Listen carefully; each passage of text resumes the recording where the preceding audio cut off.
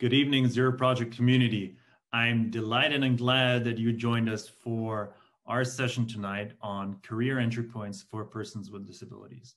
This is going to be a really exciting session where we'll get to hear both from programs, which are placing persons with disabilities into meaningful internships, which as we all know is the foundation and the start of a sustainable and independent career. And we'll also hear from directly from the participants who've gone through those programs who will relay their experiences and their um, successes in the programs which we'll be highlighting from both Ireland and the United States.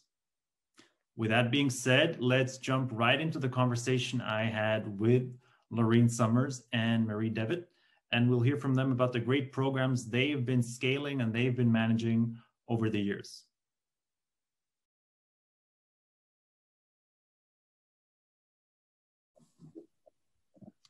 Good afternoon, everyone. Thank you for joining us at the ZeroCon 21 conference today. Um, it is really my distinct pleasure to have two very exciting and enthusiastic ladies uh, who are making sure that persons with disabilities get the career entry points they all deserve. And uh, we've convened here today under the title Creating Career Entry Points for Persons with Disabilities and I'm delighted to showcase some two programs, one from Ireland and one from the United States, which are doing outstanding work. Uh, before I have the, the distinct pleasure to introduce both of our speakers today, I'd like to give a brief audio description to those who can not see me, but only hear me. Uh, my name is Robin. I'm a white male. I have short buzzed hair. I have a stubby beard a short beard basically. I'm wearing a black blazer and a white button down. And I'm very glad that you've joined us uh, today at the ZeroCon 21 um, conference.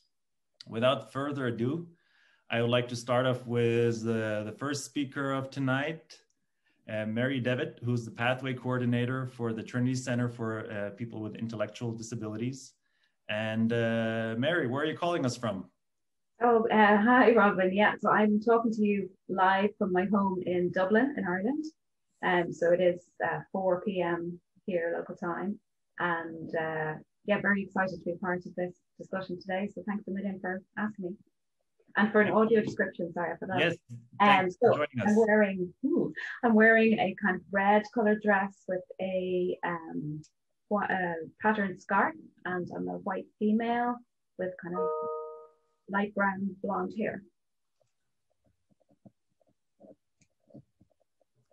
Wonderful. And uh, Mary, please do tell us, uh, give us a perhaps a, a, brief foray and a presentation on, on your work and how you are uh, pushing forward the envelope of giving persons with disabilities access to valuable internships, which we all know are really the, the foundation of a modern career today. Perfect. So yes, so as you said, I'm my title, I suppose, is the Pathways Coordinator for the Trinity Centre for People with Intellectual Disabilities. So we run a two-year certificate program for students with intellectual disabilities. Um, it's a full-time program. Um, so students are with us for up to four days per week. Um, they cover so they cover 22 modules over two years. Um, these, these modules are a very wide variety of kind of subject areas. Um, so they study anything from the arts to STEM subjects. And then in um, second year, they do a focus, a very heavy focus on business subjects. Um, so the idea, the idea of the program really is to give a, a broad education to um, these young people, really to equip them to have the skills and the confidence um, and the self belief, I suppose, to to be able to move from Trinity College into either further education or employment afterwards. Mm. Um, I suppose what we've added in the past few years is was the missing piece, which is the, an internship program after the two year course is finished. And um, so this has been really key to um, to the success of the program because we are we work very closely with um, a number of businesses in Dublin and in Ireland in general, um, who support us to run this internship program. So they they support us both in a financial sense um, by kind of uh, buying into the, the kind of the partnership program, but also um, more importantly, they support us with practical work placements and paid internships for um, for these young people. So really, what we've seen is um, a huge transformation in attitudes in companies and um, and also, as I say, confidence and success with these uh, young people who come through the program. So we we started our internship program in 2017, and we now have 12 of our graduates who are permanent employees of some very high profile um, companies, you know, companies that you might know like PayPal and um, EY and, you know, many others. And as well as those 12 permanent employees, we also have a large number of graduates who are still on long-term internships. So we'd hope that a lot more of them will convert into permanent roles as well. So it's it's developing, it's growing all the time, and it's it's really really exciting for us to see the change that's happening. Well, that is magnificent, Marie. Thank you for for giving us kind of a first um, glimpse into that. Uh, perhaps uh, in your own words, what has been the, the biggest barrier, the biggest stumbling blocks over the years as you've tried to scale this program? Yeah, so um, I suppose at the beginning, um, it was financial and sustainability of the program. So, you know, we're a very small, um, small part of Trinity College. So while Trinity was very, very supportive of the program for many years, um, we also needed business support to guarantee our longevity, I suppose. Mm-hmm. Um, so in the early years, financial um, worries were kind of to the forefront. But the more partners who have come on board with us, um, it's sort of success breeds success. So, you know, when we have high profile partners, other companies now, rather than us trying to chase partners, other companies are now coming to us um, and telling us, you know, we've heard about your program and we'd like to support you as well. So that has been a big change. So the financial, the immediate financial pressure has been taken away but that was a big, big challenge for us um, in the early days. And it is also obviously a challenge for other programs um, in Ireland and I'm sure around the world that, you know, the funding is really key. Um, we are now kind of, you know, getting support um, from government and we're in discussions to make it more commonplace for, for students with intellectual disabilities to go to university. Uh, because I think the problem was there was no expectation that that was even a need. And, you know, we're showing that not only can they go to university, but they can thrive within a university environment Absolutely. and really succeed very um, uh, with very uh, fantastic results afterwards. Well, taking the cue of worldwide, I'd like to pivot to someone who, who's been working uh, with scientists and engineers, a fascinating group of people and um, I'd like to introduce Laureen Summers, the project director of the Entry Point program of the AAAS. Laureen, the stage is yours. Hello, and thank you so much, Robin, for having me. And it's great to be with Marie. Um, I am Laureen with the American Association for the Advancement of Science. I am a white female. Um, I'm wearing a green turtleneck. I have gray hair and um, I have cerebral palsy, which has been a lifelong condition. It has made my life quite interesting. Um, so that that's a little about me. Um, entry point is the uh, signature program of the Project on Science Technology and Disability at AAAS. It began in 1996 when my former director was traveling across the country and meeting students who were graduating with high degrees and great skills in science and engineering and not not finding full employment. Mm-hmm. So talking to many people, we decided that internships, um, like Marie had said, would be a pathway to full employment. It would showcase the skills and interests to prospective employers. Um, our applicants have all kinds of disabilities. Um, and we do a nationwide recruitment of universities all over the country. We get resumes and transcripts and letters of recommendation we we screen and refer students to our partner companies.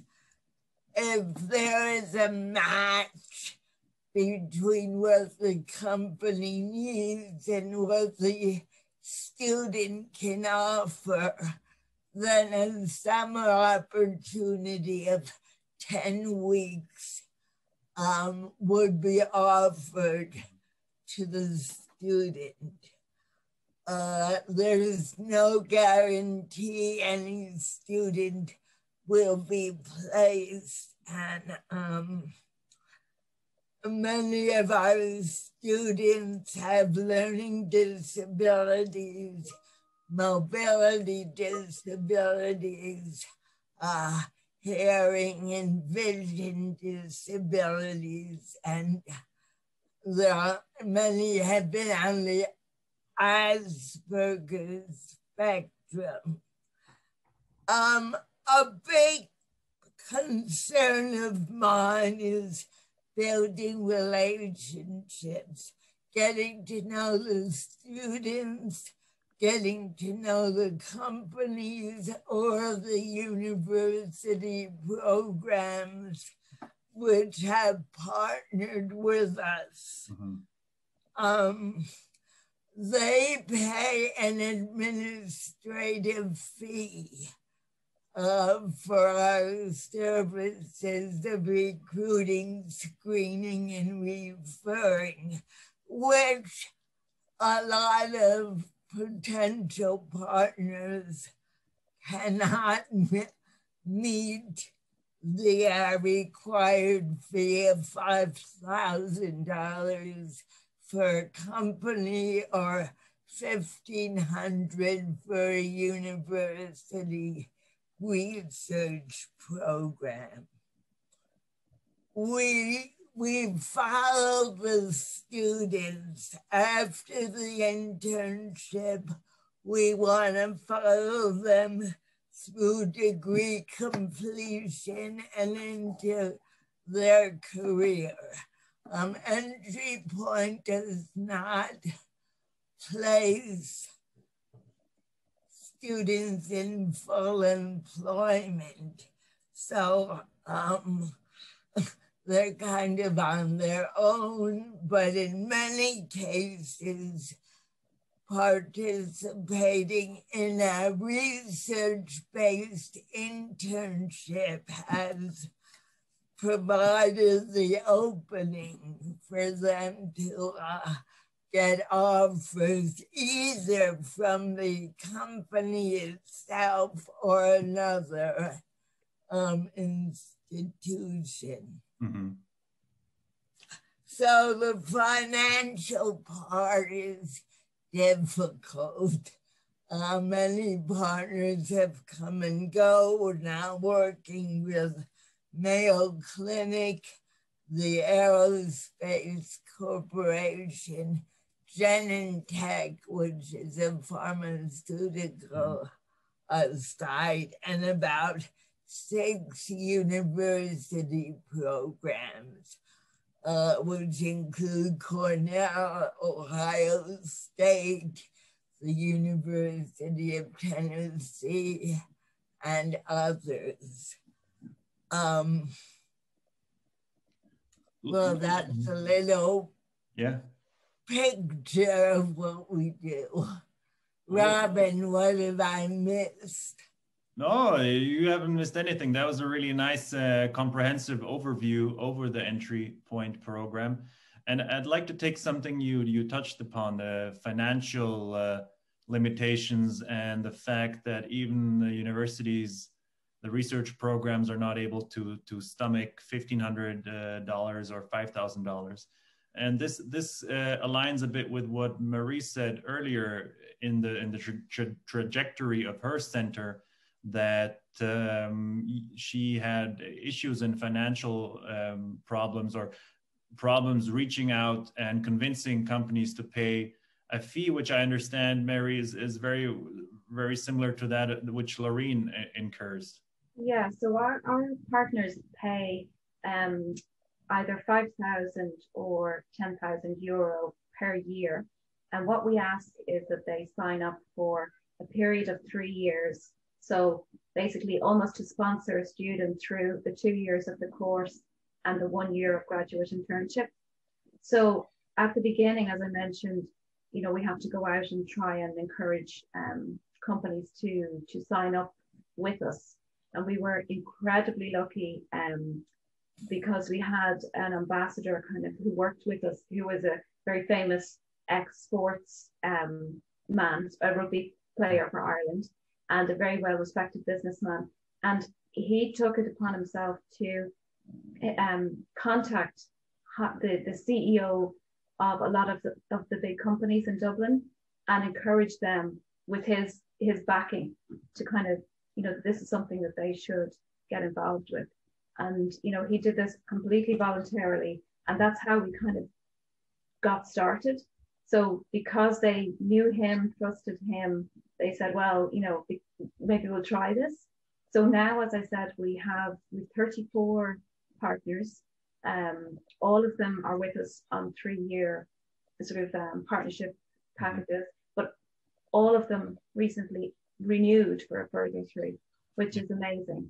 Um, uh, and we also have some, uh, you know, we get grant funding as well. So we recently got funding from, um, you know, a government initiative which would match all of our business funding. So we have to have commitments from business. They would give us a certain amount of money and then the government grant matched that again. So that was hugely um, a hugely powerful message for for us for sustainability. So it kind of has secured our future, and also it has given us a very high profile amongst these businesses that you know the trust is very important.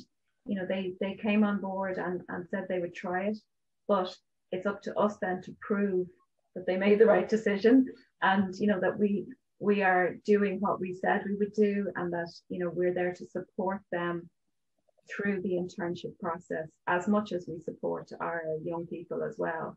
Mm. So it's a very you know we spend a lot of time managing the relationships with the businesses and that's really my entire role is the business partnerships and the internships and that um, and it does take a lot of time because you have to build a relationship with each team within each business um, to get to know them well enough to be able to match the person into the right environment.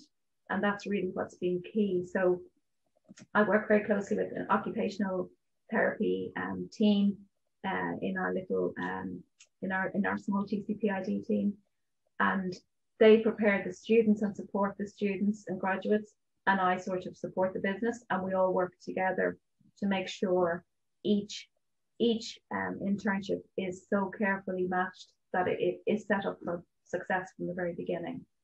Yeah. So so attention to detail really yeah. um, sets you apart. I wanted to go back what you mentioned and perhaps ask the question then that it's not necessarily a financial argument because you know from your experience and what I understood, it wasn't that the companies were able to not you know put up the 5,000 euros. It was that either they didn't understand the emotional argument or they didn't have the trust and that actually the key to success was not to to necessarily find 5000 euros from a funding source but to find someone who could step in and vouch and make uh, i think the well in the end of course also the financial argument but especially the emotional argument and to build up that trust in order for the companies to to extend the same amount of trust and to bring in um, persons with disabilities and giving them meaningful um, jobs. And perhaps on that note, then, you know, something I'd, I'd like to discuss with, with Laureen and you, Mary, is um, often, you know, perhaps there are misperceptions about employment for persons with disabilities. People might think that they do predominantly administrative work or work which is, you know, quote unquote, not challenging. And I'd love to hear kind of, you know, maybe some examples from you, Lorena, of a scientist or engineer who went through your program. Maybe you want to talk about him or her and uh, what she actually did, the research she did to show that this, what, what you're doing and the, the opportunities you're creating is truly for highly complex research. Yes. Um, I recently sent out a survey to our alums asking what worked and what didn't work. And I know one student, he um, is, is in finance and he worked in New York on one of the uh, big financial companies. And he wrote me and said, my supervisor really didn't think I could do the work. He didn't believe my resume. Um, he also had cerebral palsy. And, and the supervisor said, why don't we get someone to really tell you what to do? Another case was a woman um, with a hearing impairment and she ended up getting rejected because the company couldn't figure out how to provide accommodations.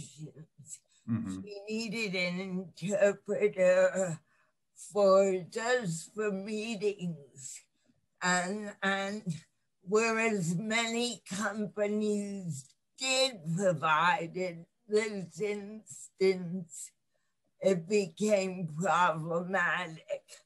Um, other companies have told me they can't take people in wheelchairs mm-hmm. because they're not accessible.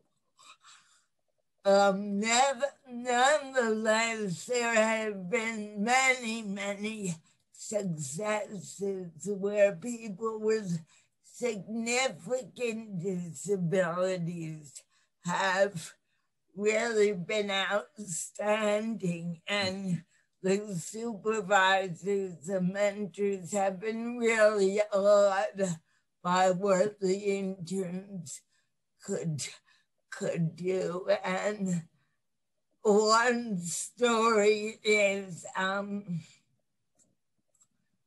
a student who used a head stick on the computer. He got an internship at NASA. Mm-hmm. And he's even he doubted his ability, whether he would be working very long. He did two internships at NASA. One was wow figuring out how how the astronauts could quickly get out of a space shuttle mm-hmm. in case of emergency. the student is now at Boeing designing engineer mounts.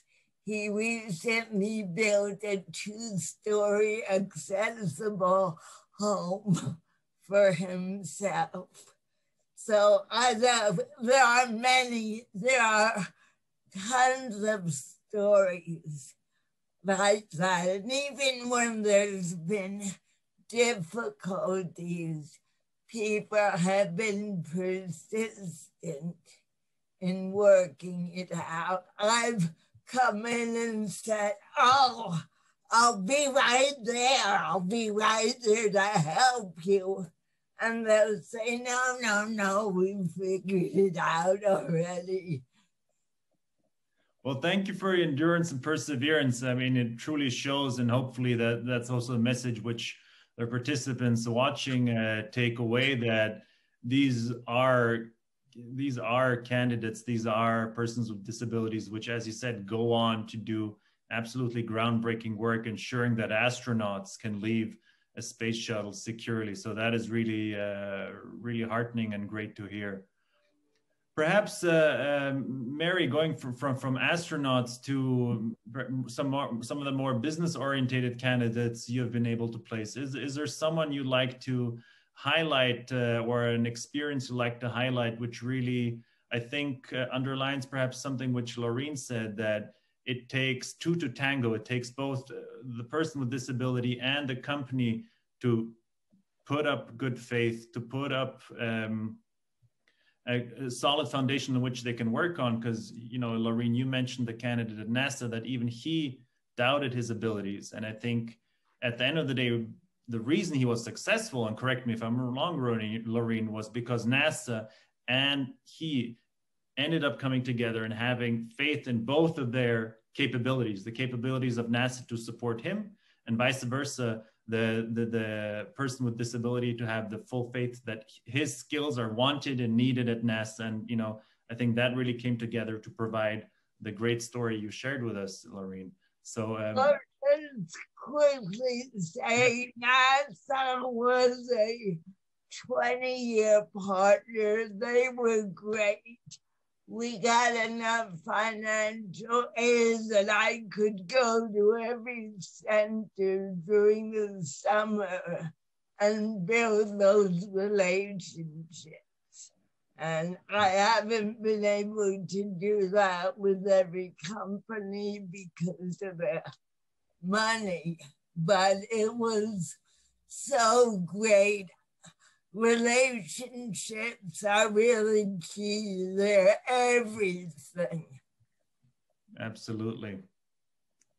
And actually, I that follows on perfectly because I was going to say relationships are so key to to the success of, of our program as well and the the one-on-one relationship so you know we for every internship we um, ask the company to provide a mentor uh, to work with our graduate and that mentor is probably the most important person in the whole um, the whole operation because obviously you have to have senior management buy-in and support for it but the mentor is the person who will you know, welcome our intern in, support them as they're doing their work.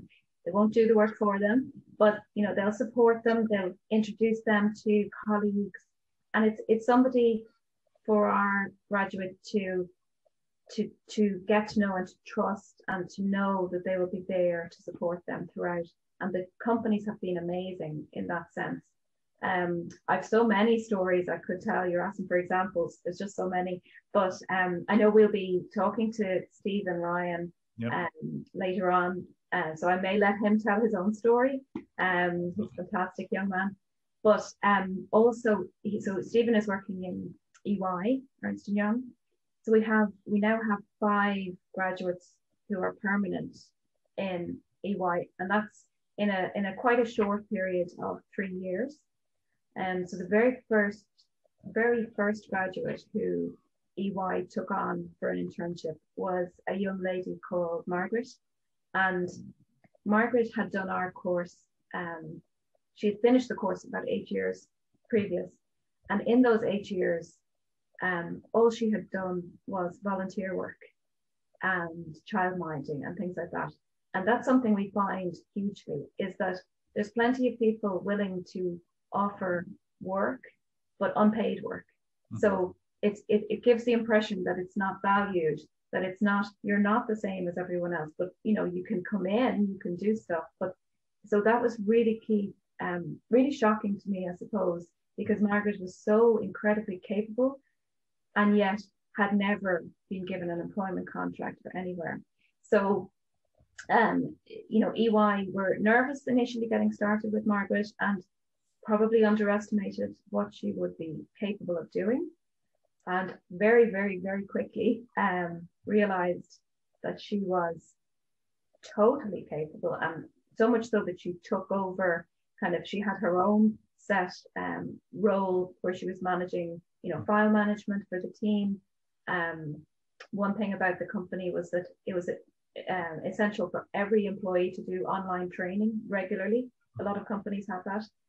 So margaret's manager uh, assumed incorrectly that margaret might might not be able to do the training. Um, and he, he was absolutely proved wrong. She has done every single piece of training um, successfully and achieved over 70% every time. So she completely transformed everyone's opinions, um, which then gave them the confidence to take on another intern. And with each intern, they, they each have gone into different teams and different departments, um, doing very different roles. Um, we have another young man, Mark, who um, is uh, his his role is is kind of working with his team and gathering information from the team each week, and then giving a presentation every Friday with the results. And Mark has been asked now to train other teams in how to implement this process in their own. So so from our interns going in as an intern, they're now training other employees in, in different systems. And I just think that is so such a powerful message. Um, that you know, new interns come in and both Margaret and Mark are involved in training them. And these are not interns with intellectual disabilities, these are interns um, from all walks of life. Yeah. And it's not training on disability, it's training on the work. Yeah, and I think that, you know that really shows that unlike the perception, persons with, with disabilities are not a burden but they're a multiplier. They amplify those with and without disabilities and help to bring out the best in others. And I think that's really a, a key lesson to take um, here. Uh, and, you know, you know, you also stressed uh, the fact that still today, persons with disabilities as a career demographic, let's say, are completely underrepresented and are completely underutilized in what they can actually do, their skill set, um, you know, being given, um, as you said, with Margaret, you know, menial tasks or administrative tasks, which were not on par with with her capabilities. So I, I was wondering, and maybe to, to, close out our our conversation here and take it into the live Q and A, if you had the opportunity now, if say if you were out and about with a mask and you got onto the elevator and you you met your prime minister, uh, Michael Martin, what would you like to tell him? What should he know about the work you do, and what should he know about uh, career chances and opportunities for persons with disabilities? Well, I would love to have the opportunity to meet Micheál Martin, and I, if he's listening, uh, I, I, can set up a meeting. But um, obviously, uh, the main thing is that um, you know we want to focus on the ability, and as you said, the you know the contribution that people with intellectual disabilities can bring to the workplace and to society. And, you know, we want the government um, to support similar type of programs throughout the country, but also to encourage um, encourage society and, you know, per- perhaps by employing people with intellectual disabilities themselves within um, within the government uh, roles to to help change people's attitudes to opening opportunities um, and and creating uh, a society where everyone is given the same chance to get an education, to go to university, to get a job, and to be paid uh, accordingly for that job. and also, you know, the thing that we that has uh, we've got to the point now is to be promoted within your job, and you know, to, to go to management level and and that kind of thing, um, because nobody has ever had those expectations um, for these young people. And, you know, we're showing through this program and other fantastic programs that all these people need is to be given a chance to show what they can do. Um, and, you know, we need the government and companies to support us in that. So, yes, I hope to meet Micheál Martin and tell him that in person soon, hopefully. Now, now, Laureen, you you you accidentally bump into Joe Biden in the elevator in. Washington D.C. What, what do you tell him?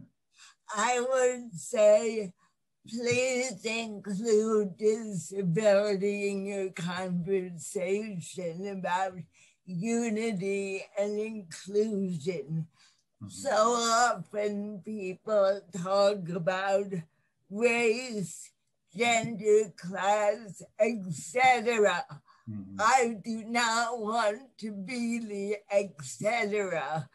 anymore we all bring unique life experiences and coping skills to um, any kind of internship or employment.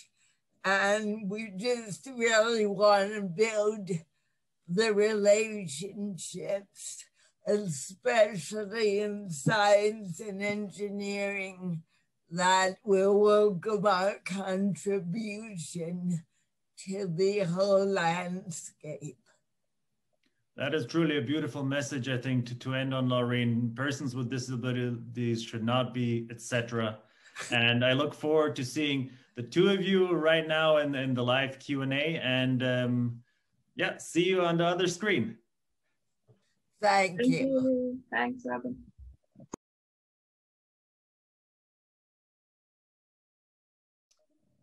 Right. Good evening, everyone. Thank you for joining us at the ZeroCon 21 conference. You just heard our conversation with Laureen and Marie, who really did a great job in describing the programs they run, the hurdles they face, but of course also the success stories they've had. And kind of on the note of success story, Marie, thank you for bringing in a great uh, guest here, namely Stephen Ryan from EY, who, Marie, correct me if I'm wrong, is a graduate of your wonderful program. That's correct. He's, he's one of our, our top graduates, um, finished in, remind me, Stephen, 2019, right? Yeah, yeah, 2019, yeah. Wonderful. Um, Stephen, perhaps uh, in your own words, could you maybe outline your story with, with the Trinity Center and how you came to meet Marie and your experiences with the program? Yeah, I would. Um, um, hi, everyone. My name is Stephen Ryan and I come from um, Laois, which is situated, which is uh, located an hour from Dublin, capital of Ireland. And um, well, when I left um, my training course, um, National Learning Network, I had no education or no background for two years. So I was alone on my own for two years I'm at home. But then I was went to Dublin just for a day out with my friend and when um, I came back to when I came back, my mum told me my aunt, who works in Trinity College in Dublin, told me of this great course. I was um, late for registration, so we had to gather all of the references and the doctor letters in one day, and we handed it to my aunt that night, and she brought it up to Dublin for us. And then the next day, I had an interview for Trinity um, it was a very nerve wracking day because I was an hour and a half late for the interview because my train broke down. And um, but I just continued on like nothing happened once I got there. Marie was one of the people who interviewed me. And then the next day I got word that I got accepted under this great course. The course is um, the course is for people with intellectual disabilities and it has 22 subjects over the two years. And these range from film studies all the way to learning about the rights for people with disabilities, which I found very interesting.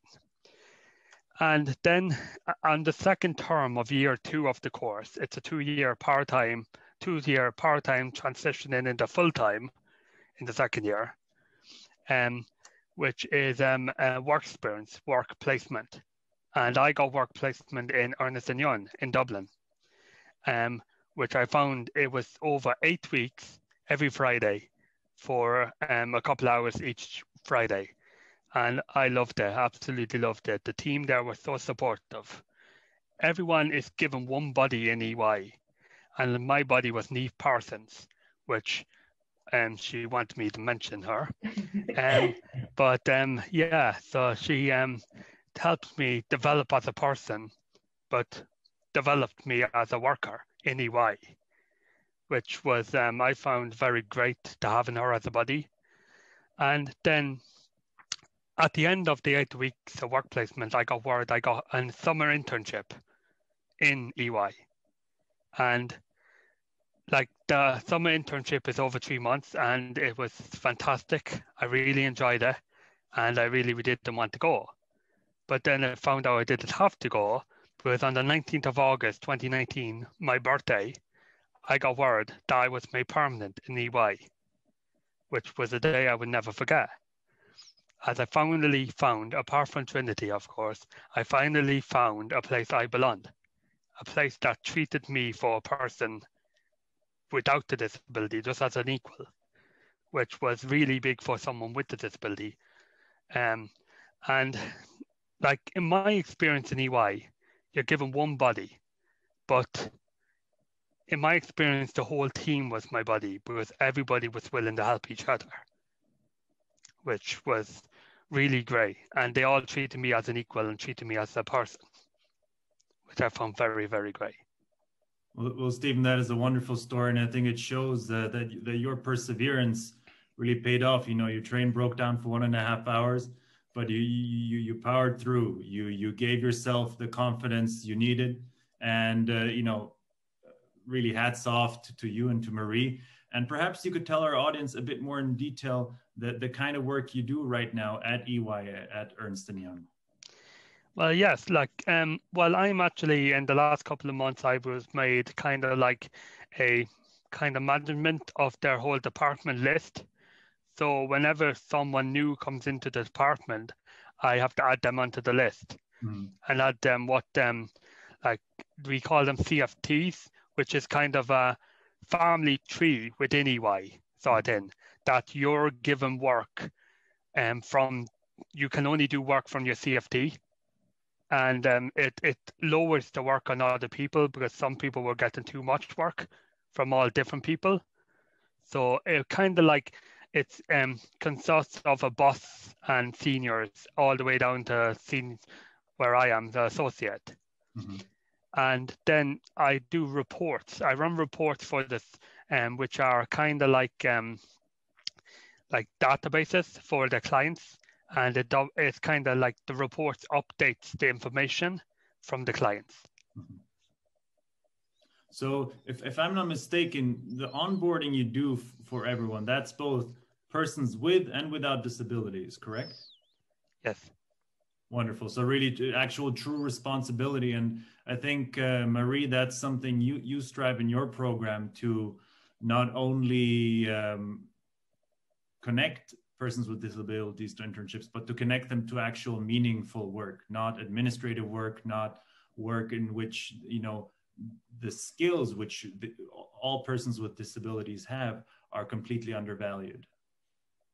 Exactly, and you know, in in particular in the case of Stephen, so EY told us that they, you know, that they would would take on a student for a placement, but they were very specific that this student would have to have quite um, high level computer skills. So we knew in advance that the person would have to have great attention to detail, you know, to be able to use Excel um, and, and all of that. So we knew immediately, there was no question Stephen was the right match for that team. And, you know, he has, I'm so proud of him. He has surpassed all of our expectations in there. And, uh, you know, what he didn't say was that he went on his summer internship, which was supposed to be three months, but he was made permanent after only two months uh, in there. So that is the quickest quickest we have ever had a graduate receive a permanent contract Um, so it's a record that I don't know if we'll ever break because it's just such a success story, and it's all down to you know Stephen has worked so hard, um, and has shown everybody the fantastic um skills that he that he has, and he's just moving up and up within his team, and we're incredibly proud of him. Wonderful, Stephen. Again, really uh, compliments. Laureen, do you have a story perhaps you would like to share with Stephen of some of the students you've been able to place at internships and kind of the career paths they have gone on to um, pursue? Sure. Um, one of the things we like to do is we like to go back and follow the interns. So we follow them to see if they completed their education and receive their degree. Many go on to their graduate work and we want to know what they do. And so, in fact, I just heard from an intern the other day who worked at NASA and she has cerebral palsy like I do. But she said, following the internship, much like you, she got hired at NASA permanently.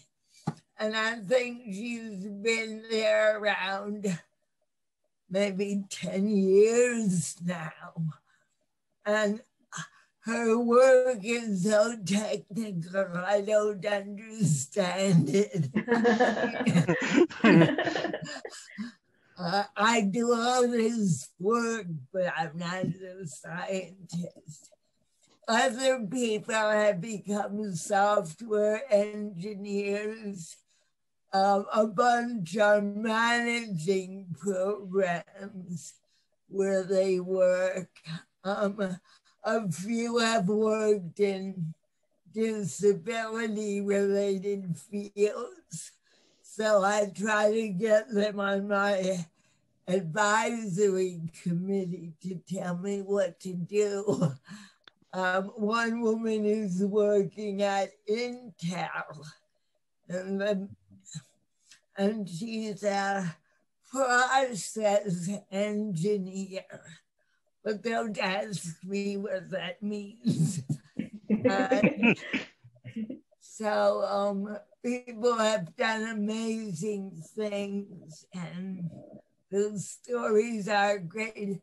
Even like you, they worked with a team of people and they made friends and the disability became very minor. Usually, uh, the, the woman who works at NASA said that it was hard when people did not understand about cerebral palsy. So all kinds of things happen with my students, and I'm very nosy. So I try to follow everyone. So do I, Laureen. Stephen, perhaps a, a question I, I, have for you, which builds on a bit on what Laureen just mentioned, is that in some instances, the employees didn't understand the disability or had certain misperception or biases. Is there something perhaps you want to communicate to the audience and perhaps to both persons with and without disabilities who are watching on what you would like them to know, especially as, as a young graduate who's now gone on uh, to really pursue an exciting career within a big corporation, which involves really sophisticated work and operating within a bureaucracy and within a system. Just kind of something you'd like to um, communicate about what you would like them to know about persons with disabilities. Well, yeah, like um, I I have um, dyspraxia, which is a coordination dis- disability, and um, it's more to do with um, my balance isn't very good, and um, I wobble a lot. Like um, I can't walk in a straight line. Like so, um, yeah, like but in my team in EY, they have all been accepting of who I am, as a person. They haven't talked. Uh, they haven't even mentioned my disability. They haven't even talked about my disability. They just taught us me as a person. Absolutely. Which I think that's really key, um, Robin, because I think you know it's to see everybody as as who they are rather than you know whatever ability or disability they might have. So to focus on you know focus on Stephen's incredible strengths and you know to really what we do as well as when we're organizing the placements and the internships is we try and give a bit of a um, you know a feel for what type of things they like. You know like Stephen is a big soccer fan for example. That was very important to make sure the team knew which team right? Man United and um, you know if someone has a particular interest in film or in you know in in a different kind of sport but it just helps to to see the complete person and take the focus away from the fact that there is a disability. Because at the end of the day, um, you know, there, there are jobs that suit everybody. And it's just to kind of find the right match for somebody and to support them. And as Stephen said, his mentors were so um, so valuable and so helpful to him. You know, there is a whole buddy system within EY that that they they they know that that is key to the success of of everything, of helping someone to settle in. And that's not just somebody with a disability, that's everybody. Um, you know, to ensure that they're welcomed into the organization. And uh, it is a, you know, as Stephen said, just to to, to look at the person as a person yeah. first. And, and you know figure out how to support. Really, what I gather from what you've told me, Stephen and, and Laureen and Marie, is that we should really paint a three-dimensional picture for every individual candidate understand the role mentorship has to play, understand the role cultural bonds, especially informal, be it your favorite soccer team, your, your favorite band, and really to bring that all together and cater it and customize it according to the individual and to present him as a multi-dimensional, interesting, diverse person. And then more or less, as you said, Stephen, you know, people then tend to forget and about the disability and it kind of drifts into the background and they accept you as the valuable team member you are no different than someone with or without a disability and uh, i think the one thing I, I have to disagree on with Stephen is his favorite choice of a soccer team. that that is fine. We, we, we, won't mention that here. That's not the time. But uh, no, in all seriousness, Stephen, thank you for joining us and, and sharing your story today.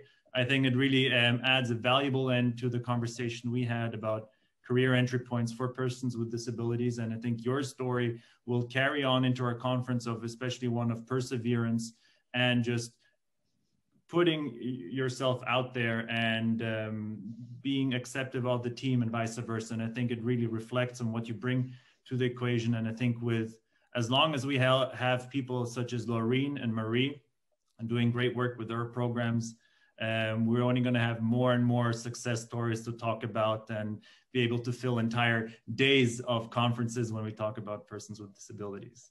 So on that note, thank you very much everyone for joining us today. I think this officially concludes day one of the Zero Project Conference. And um, please join us um, on for on Thursday and on Friday, February 11 and February 12 of day two and uh, day three of the ZeroCon 21 conference. Good night. Good night. Thank you. Good night. Thanks.